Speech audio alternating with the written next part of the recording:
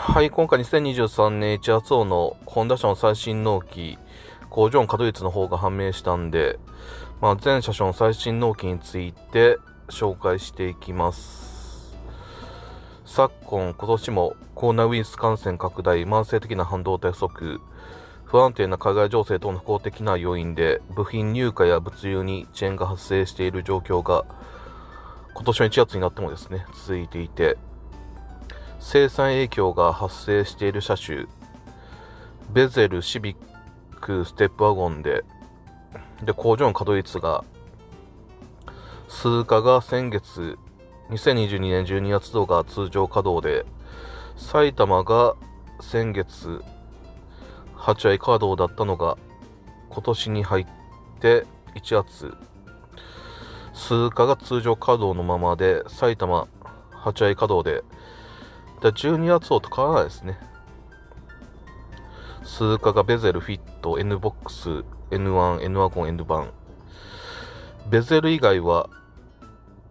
5ナンバー車となって軽4シリーズですねで埼玉の方はステップワゴン、フリード、シビック、ホンダ E。フリード以外は3ナンバー車ですね。普通車、ミドルクラス以上が中心となっていて、通常稼働、数価が通常稼働なんですけどね、のベゼルが生産影響がですね、発生していて、で、全車種の最新納期、12月になってますけどね、一応更新されてますね。今年になってまた更新されていて、最新納期として、アコード1ヶ月、一部タイプカラーによっては選択不可。まあ、在庫車があるんですかね。オーダーストップっていうかもう生産終了して結構日にちが経つんですけどね。で、シビック、ガソリン車が半年以上で、EHEV がかなり納期が延長して1年程度になってますね。最近まで半年程度だったんですけどね、1年以上納期がかかってきて、で、シビックタイプ R が、オーダーストップが変わっていると思うんですけどね、まあ、オーダーかけたとしても1年以上。まあ、そういった SNS の情報だと2年ぐらいですね。最低でも2年ぐらい納期がかかるんじゃないかという情報で。で、ステップワゴンが、ガソリン車が1年程度になってますね。1.5リッターガソリンターボが半年か1年程度に納期が延長して、で、ハビトの EHEV の方が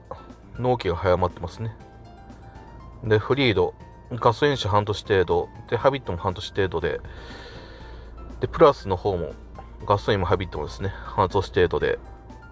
で、フリード、フリードプラスは、一部タイプカラーによっては1ヶ月か2ヶ月程度で納車できる場合があるって記載され始めましたね。これも先月時点では記載なかったんですけどね、早まることはできるという記載があったんですけどね、1ヶ月か2ヶ月っていう記載がなかったんで、ZRV、ガソリン車、発売してから半年以上で EHEV の方が納期の方が遅れていて、1年程度ベゼルも ZRV と同じぐらいか、ZRV より2、3ヶ月ですね。EHEV に関しては納期の方が遅れていて、ガソリン車半年以上で EHEV が1年程度、ハビットの方は一部タイプカラーはお選びいただけない場合がございますって記載されてますね。もうハビットに関してはプレイとかだと1年半という情報ですね。まあ Z とかでも1年3、4ヶ月っていう情報で、で、ホンダ E が納期早まって1ヶ月、で、フィット、マイチェン後、ガソリン車半年以上で、EHEV が半年程度なんで、ガソリン車の方が納期かかるんですね。で、一部タイプカラーによっては、ガソリンもハイビットも2、3ヶ月で納車できる場合があるみたいで、で、N シーズ、N1 半年程度、で、N ボックス、N ワゴンが半年以上で、N ワゴン、N ボックスに関しては一部タイプカラーによっては1ヶ月か2ヶ月程度で納車できる場合があるってことで、まあフリードと同じくらいですね。で、N 版が半年程度で、N 版はフィットと同じぐらい、一部タイプカラーによっては2、3ヶ月で納車も可能で、まあ全体的に納期の方は遅れている傾向で、ホンダ以外1ヶ月っていうぐらいで他の車種、普通車も軽4も基本的には半年以上納期なんで、ベゼル ZRE は相変わらず納期は長くて、ステップワゴンのガソリン車とシビックの EHEV ですね。納期の方がかなり遅れてきていて、1年程度ですからね。はい、今回2023年1月中旬時点のホンダ車の最新納期、工場の稼働率について紹介しました。